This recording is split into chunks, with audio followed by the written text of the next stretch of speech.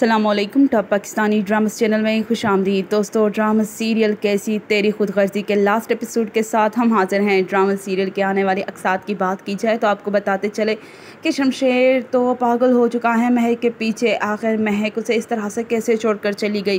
وہ تو اس سے بے انتہا عشق کرتا تھا۔ یہاں پر آپ کو بتائیں کہ مہک واپس اپنی امی ابو کے گھر آنے کے بعد شمشیر کو اس بات کا علم ہونے والا ہے اور تب شمشیر اسے چین کر لے کے جائے گا۔ اب کوئی مجھ سے مہک کو جدا نہیں کر سکتا اور بلاخر شمشیر کی اس حالت کے بعد اس کے ابا بھی اب رضامند ہو چکے ہیں۔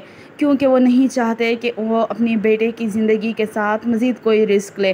یہاں پر مہک اس گھر میں تو آ چکی ہیں، لیکن وہ شمشیر کی زندگی میں زبردستی آئی ہیں اور شمشیر کی وجہ سے جو تکالیف اس کے گھر والوں کو پہنچی ہیں، وہ اسے معاف نہیں کرے گی۔ لیکن بلاخر شمشیر کی محبت جیت جاتی ہیں۔ شمشیر جس طرح سے مہک کا اس کے گھر والوں کا خیال رکھتا ہے، اپنے گناہوں کی معافی مانگتا ہے، اپنے کیے گئے ظلم و ستم کا مداوع کرنا چاہتا ہے۔ اسی طرح سے مہک کا رویہ دیکھتے ہوئے شمشیر شیر کے گھر والے بھی اس کے قدردان بن جاتے ہیں۔ یہاں پر مہک نے سب کا دل جیتنا ہے تو وہیں پر شمشیر اب تک مہک کا دل نہیں جیت سکا، لیکن وہ جانتا ہے ایک نہ ایک دن مہک کو بھی اس کے عشق کا، اس کے محبت کا اندازہ ہوگا اور ایسا ہی ہونے والا ہے۔ ڈرامہ سیریل کی ہیپی اینڈنگ ہونے والی ہیں کہ جس میں مہک اور شمشیر ایک ہوں گے اور بلاخر شمشیر سے پہلے ہی مہک اس سے اپنی محبت کا اظہار کرے گی۔ آپ کیا کہتے ہیں؟ آپ کو لاسٹ اپیسوڈ کیسا لگا؟